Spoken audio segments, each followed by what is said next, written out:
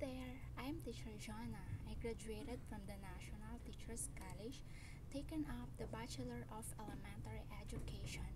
I love kids, that's why I choose to mold the young ones. I have feel an inner joy seeing them learning new things. Through the years of my experience, I can say that the most important thing we learned in school was how to communicate. We can have our brilliant ideas, but if we can't get it across, our brain means nothing. So come with us and let's explore and discover new things.